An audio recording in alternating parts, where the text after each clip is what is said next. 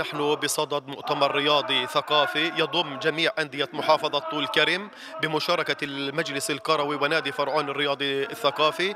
إيه، انبثقت هذه الفكرة إيه، من إيه، نادي فرعون الرياضي الثقافي وبالشراكة مع المجلس الكروي للوقوف على التحديات والعقبات التي تواجه أندية محافظة طول كرم فكان عنوان هذه الندوة أندية محافظة طول كرم بين الواقع والمأمول.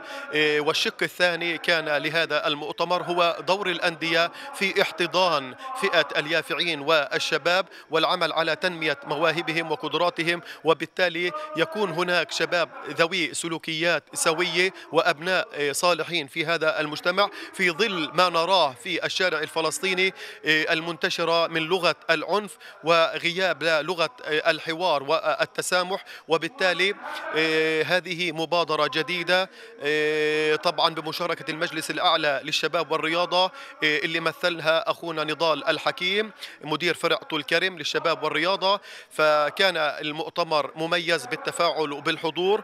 كل الشكر والتقدير لكل نادي حضر وشارك والشكر موصول لكم تلفزيون الفجر الجديد. في البداية بدي أشكر نادي فرعون الرياضي ومجلس كروي فرعون على على هاي المبادرة الرائعة واللي لمت جمعت بين كل أندية محافظة طول كرم لمناقشة المشاكل والتحديات اللي بعاني بتعاني منها الأندية الرياضية في المحافظة. وتم استعراض الخطة الوطنية الاستراتيجية للشباب اللي عدها المجلس على الشباب والرياضة من عام 2017 حتى عام 2022 وربط التحديات والمشاكل اللي بتعاني منها الأندية بالخطة الوطنية الاستراتيجية.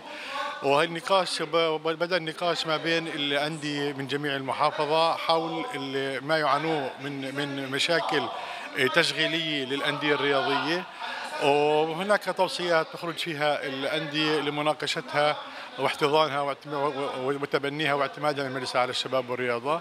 شكرا لكم وشكرا إلى تلفزيون الفجر الجديد على اهتمامه ومتابعته لبرامج وأنشطة الأندية الرياضية والمجلس على الشباب والرياضة.